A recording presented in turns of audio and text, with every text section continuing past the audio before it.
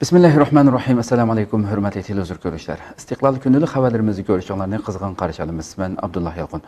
Proqramımızda vətənimiz Şərq Türkistan və dünyada olub atqan gün tərtibdəki xəbərlərini huzurunuzda sunuşduracağıq. Qaynamızda diqqətlər ekranımız olsun.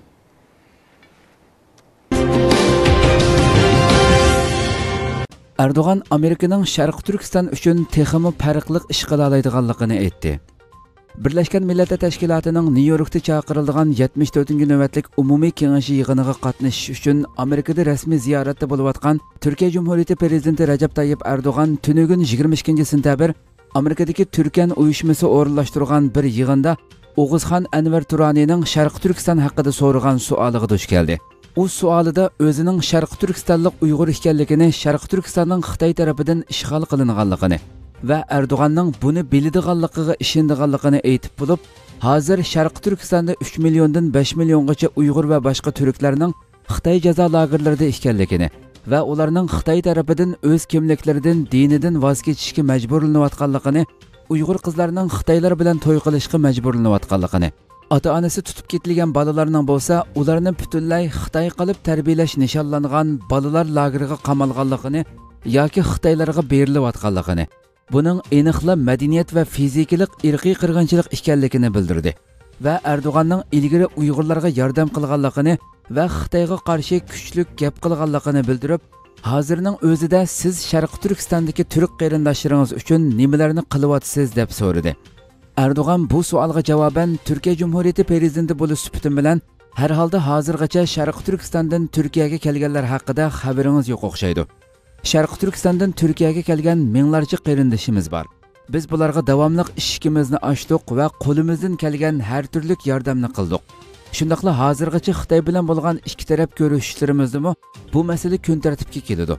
Man amerikaning bu haqda nima qilganligi haqida to'xtalmayman.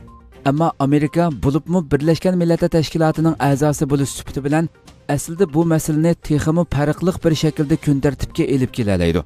Va bu sifat bilan kun tartibga elib kelgan bo'lsa texmi tez natija elish mumkin bo'ladi deb o'ylayman. Albatta xitoyning bu haqda bizga ba'zi takliflarimi bor. Hay'atlar avatyotidi va bizga hay'at avatinglar so'zlanayotgan ishlarni naq maydonda ko'rsin deyotidi. Tashqi ishlar ministrligimizmi bu haqda tayyorliklarni qilyotidi. Shuni orzu qilamanki bu tayyorliklar bilan u yerga boradigan hay'atning tekshirishlaridan keyin chiqqan natijaga ko'ra tutadigan pozitsiyamizni texmi aniq va ochiq shaklda bildiramiz deb javob berdi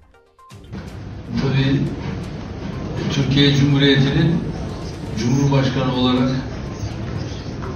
şu ana kadar Doğu Türkistan'dan Türkiye'ye gelenlerle ilgili herhalde hiç haberiniz olmadı.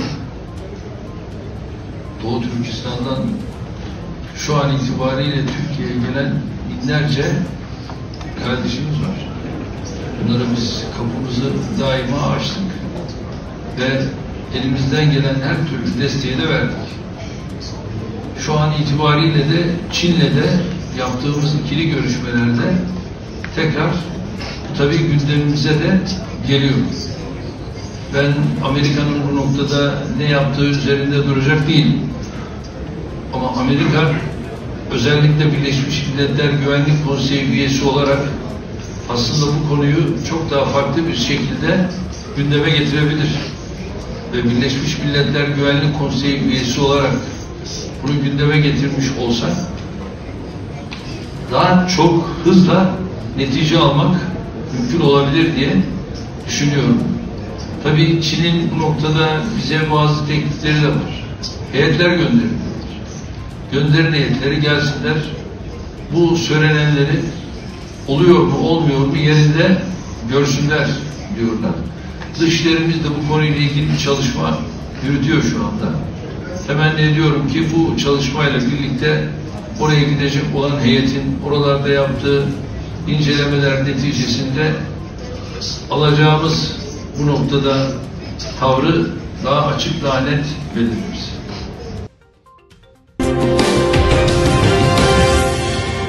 Xitoyning organ tijorati jinoyati haqida xalqaroliq muhokama yig'ini ochildi. Buyuk davr to'rining xabarida bildirilishicha 18 sentabr finlandiyaning helsinki shahrida davlat xarakterlik odam organi bulongchiligi mutaxassislar muhokama yig'ini ochildi. Yig'inni xitoy kishilik huquqni qo'llash tashkiloti o'rinlashtirgan bo'lib xalqarodagi dangliq kishilik huquq faoliyatchilari muxbirlar va aloqador guvohchilar qatnashdi. Yig'inda xitoy rejimining tutqunlarning ichki a'zolarini majburiy elib olish qilmishlari dalil isbot bilan o'ttirg'a qo'yilgan bo'lib mustaqil sotning bu haqda aniq qaror chiqarib bo'lganligi xitoyning bu jinoiy qilmishlarining real haqiqat ekanligi ta'kidlandi.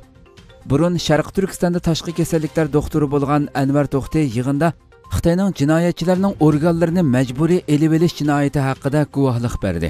Shundoqla hozir jazo lageriga qamalgan millionlagan uyg'ur xalqining falun gumpisi murtlariga o'xshash bu jinoiy qilmishning obyektiga aylanib qolganligini bildirdi undan boshqa mutaxassislar transplantation plus one qatorliq ikki jurnalning xitoy tadqiqotchilarining 15 parcha ilmiy maqolasini o'chirib tashlaganligini sabab bo'lsa xitoyning tajribaga ishlatilgan ichki a'zolarning manbasini aytib berolmaganligi ekanligini bildirdi undan boshqa angliya tibbiy jurnalining dokladida bildirilishicha xitoyning 400 dan ortiq ilmiy maqolasining 90% da ichki a'zolarning manbasi noma'lum ekan.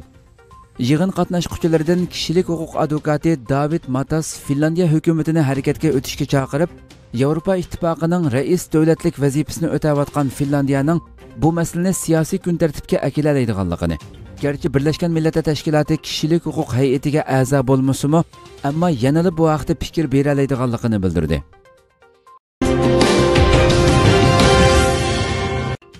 Hongkongda namoyishchilar Xitoy bayrog'ini ko'ydirdi. 21 sentabr axborot vositalari tarqalgan xabarlarga asoslanganda Hongkong alohida rayonidagi hukumatga qarshi namoyishlarni soqchilar qizilmuch gazi bilan bostirgan. Hongkong alohida rayoniga tava bo'lgan Tuin Mun rayonida necha minglagan kishilar namoyishga chiqqan. Bularning orasidagi bir guruhga hukumat binosi oldidan tushirilgan Xitoy bayrog'ini ko'ydirgan bo'lib, yana bir guruhga poyezd stansiyasiga o'zi yasagan benzin bomba atgan. Saqchilar poyezd ясаган бензин бомба benzin бу atgan bu муч qizilmuch gazi bilan bostirishga uringan va nurg'unlagan kishini qo'lga olgan. Shundaqli Hongkong alohida rayoni hukumati 10 yanın birinchi kuni o'tkaziladigan Xitoy davlat bayramida salyot etishni xalq ommasining bexatarligini ko'zda tutib amaldan qoldirganligini bildirdi. Yaqinqi kunlarda namoyishchilar bilan saqchilar yoki Xitoy tarafdorlari orasida to'qinishlar yuz berib turmoqda. Qozog'istonda Xitoyga qarshi namoyish qilguvchilar saqchilarning bostirishiga uchradi. Amerika ovozi to'rining xabarida bildirilishicha, shanba kuni Qozog'istonning Nur-Sulton, Olmuta qatorliq shaharlarda tashkillangan Xitoyga qarshi namoyish saqchilarning bostirishiga uchradi. Bu qatimliq namoyish Xitoyning kengaymichiligiga va Qozog'istonning sobiq prezidenti Nazarboyevga norozilik bildirish uchun o'tkazilgan bo'lib, necha o'nlagan kishi saqchilar tomonidan tutib ketilgan. Qozog'istonning sobiq prezidenti Nazarboyev garchi bu yil 3-oyda prezidentlik vazifasidan iste'fo bergan bo'lsa-mu, ammo hozir hokimiyat yurgizayotgan Vatan Nuri Xalq Demokratiya partiyasining raisligini va Davlat xavfsizlik kengashining raisligini o'tab kelmoqda. Yaqinqi yillardan buyon Xitoy shirkatlari Qozog'istonga ko'plab kelishga boshlagan bo'lib, yerlik xalqni ishlatmasligi yoki tuvan maosh bilan ishiltishi xalqning noroziligini qo'zg'agan. Undan boshqa Sharq Turkistondagi jazo lagerlariga qozoqlarning ko'plab qamilishi Qozog'istondagi Xitoyga qarshi kayfiyatni kuchaytirib atgan. Xabarda ko'rsatilishicha, soqchi doiralari hozirgacha 57 kishining tutilganligini, ularga jinoyat bekitish mumkinligini bildirgan.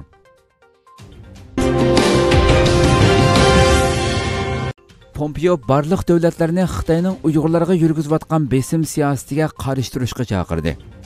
Fransiya xalqaro radiosining tunugungi xabarda bildirilishicha, Amerika Qo'shma Shtatlari tashqi ishlar ministri Mike Pompeo barliq davlatlarni Xitoyning Sharq Turkistondagi Uyg'urlarga yurgizayotgan bostirish siyosatiga qarshi turishga chaqirdi. Xabarda Amerika tashqi ishlar ministri Майк Pompeo Nyu-Yorkda Qozog'iston, Qirg'iziston, Tojikiston, Turkmaniston va O'zbekiston qatorliq 5 davlatning tashqi ishlar ministrlari bilan o'tkazgan yig'inda terrorizmga qarshi birlikda kurash qilishni davomlashtirishning zarurligi haqida so'z qilgan. Майк Pompeo yig'inda yana xalqaro jamiyatni va barliq davlatlarni Xitoyning Sharq Turkistonda yurgizayotgan bostirish siyosatiga qarshi turishga chaqirib, munularni ta'kidlagan. Xitoyning Sharq Turkistondagi bostirish siyosatlarining terrorizm bilan hech qanday aloqasi yo'q. Xitoyning bostirish siyosati Sharq Turkiston musulmonlarining e'tiqodini va kulturini yo'qotishga urinishi bilan munosabatlik. Shuning uchun har qaysi davlatlar Xitoyning chet eldagi Uyg'urlarni qaytarib berish haqidagi talabi bo'yicha ish qilmasligi kerak. Chunki Uyg'urlar qattiq bostirilmoqda. Мәлім болышча Майк Помпио барлық дәулеттерге қаратқан Қытайның ұйғырларға жүргізіватқан бастыру сиясатыға қарсы тұрыш шақырығыны Отыр Азиядагы 5 дәүләтнең ташкы эшләр министры белән күрешкәндән кин кылган. Тәшкилатлар берлегенең зияраты дәвам кылмакта. Шәрык Түркістан Тәшкилатлар берлеге рәисе Хидаятлла Оғызханның җитәкчелегендәге бір хайат 21 сентябрь төштән кин яңа курылган Сутук Бурахан илм ва мәдәният вакфының Кония шөбесе və Şərq Türkistan Muhacirləri Cəmiyyətinin açılış mərasimiga iştirak qildi. Mərasimdə Şərq Türkistan Təşkilatlar Birliyi rəisi Hidayətullah Oğuzxan bilan Ustuq Boraxan İlim və Mədəniyyət Vakfı rəisi doktor Alimcan Buğda Şərq Türkistan davasının hazırki əhvali və təşkilatçılıq teması söz qıldı.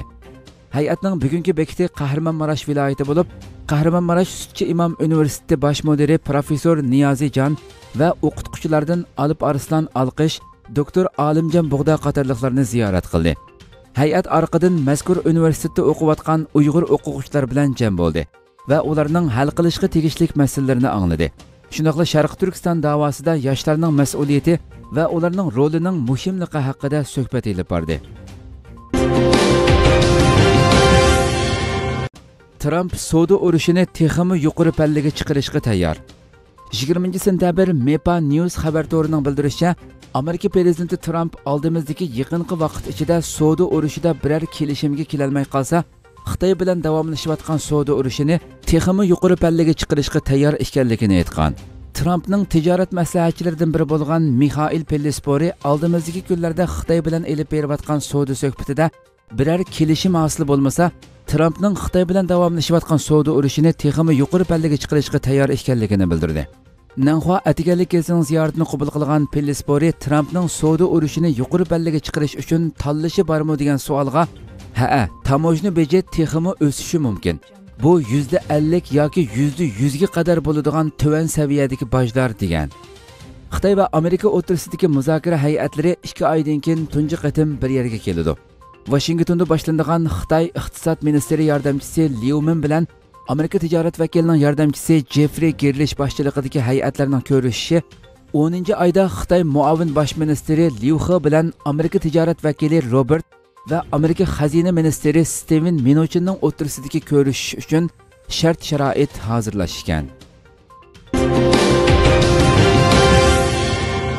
Belgrad ko'chalarida Xitoy soqchilari charlashga boshladi. Xitoy bilan Serbiyaning yaqinlashishi davom qilmoqda. Xitoyning serbiya armiyasiga qurolliq uchquchsiz aeroplan setish qaroridan keyin oldingi kuni xitoy soqchilari serbiyaning poytaxti belgradda xitoy sayohatchilarga yordam qilish uchun chorlashga boshladi. Xitoyning balqon rayonlarida eshib berayotgan nupuzi g'arb davlatlarini andishalantirmoqda hurriyat to'rining xabarida bildirilishicha xitoyning xibi o'lkasidan olti xitoy soqchi xitoy sayohatchilar va bir balvoq bir yo'l qurilishi doirasida davlatda turayotgan xitoy ishchilarga yordam maqsadi bilan serbiya poytaxti belgradda chorlashga boshildi. Tunji chorlashga boshlash marosimida so'z qilgan serbiya ichki ishlar ministri nebosa stefanovich bu yil xitoy sayohatchilarining qirq persent oshadiganligini kutayotganligini bildirib bu qadamlarning muhimligini tilga oldi. Va oldimizdagi kunlarda novi sad va simaderovo shaharlaridami o'rtaq chorlash xizmati boshlaydiganligini bildirdi. O'tgan kunlarda serbiya davlat mudofaa ministri aleksandr vulin xitoydan to'qqiz donasi aniq 15-i ixtiyoriy yigirma to'rt dona kingdu petrodaktil bir tipli qurolliq uchquchsiz aeroplan setib olganligini va oldimizdagi oylarda taslim qilishga boshlaydiganligini bildirgan edi. Amerikaning belgrad bosh elchisi Kyle Scott davlatining andishalarini tilga olib, serbiya yevropa birligiga nomzod davlat bo'lsimi oxirgi mezgillarda qilayotgan ijroatlari davlatning nishonlari haqida aniqsizlikka sabab bo'lmoqda. Serbiya hozir qilayotgan ishlariga diqqat qilishi kerak deganlarini bildirdi. Yevropa birligi komitetining yangi raisi ursula von der layn bo'lsa xitoyning serbiyada eshib berayotgan faoliyatlari tahdid bo'lmagan taqdirdami andisha berguchi ekanligini bildirdi. Taliban vakillari xitoy bilan ko'rishdi. Bugun germaniya axborotlarida chiqqan xabarda ma'lum bo'lishicha amerika bilan o'tkazayotgan suhbati muvaffaqiyatsiz bo'lgan taliban bejingda xitoyning afg'oniston masalalari alohida vakili bilan ko'rishgan. Xabarda taliban vakillari bejingda xitoyning afg'onistonda turishliq alohida vakili bilan ko'rishganligi talibanning xitoy vakillari bilan ko'rishishi amerika prezidenti trampning taliban bilan o'tkazilayotgan suhbatlarini to'xtatgandan keyin elib berilganligi bildirildi. Taliban bayonotchisi suhayl shohin o'zining twitter hisobotida talibanning to'qqiz kishilik vakili oldingi hafta bejingga yetib berib xitoyning afg'oniston masalasi alohida vakili ding shijun bilan ko'rishganligini ko'rishishda amerikaning taliban bilan elib berayotgan suhbatini to'xtatganligi haqidagi masalalarning muzokara qilinganligini oshkorildi. Ma'lum bo'lishicha taliban vakili 6 oyda bejingda ziyorati bo'lgan bo'lib suhbatda xitoy taliban bilan amerikaning tinchlik suhbatini qo'llaydiganligini bildirgan. Shimoliy atlantik akti tashkilotining afg'onistonda turishi qorovulxonsi endi yuz bergan mashina bomba voqeasiga taliban taraf mas'ul bo'ladiganligini e'lon qilgandan keyin amerika prezidenti tramp taliban bilan elib berayotgan suhbatni to'xtatadiganligini e'lon qilgan edi. Hurmatli televizor ko'ruvchilar shuna qilib bugungi xabarlarimiz mushu yerda oxirlashdi. İnshaalloh atigi xabarimizni ko'rishgacha sizlarni janobiy alloh topshiramiz. Shundoqla programma oxirida ekran orqasidagi barliq xizmatdoshlarimga ko'pdan ko'p rahmat aytaman. Assalomu alaykum va rahmatulloh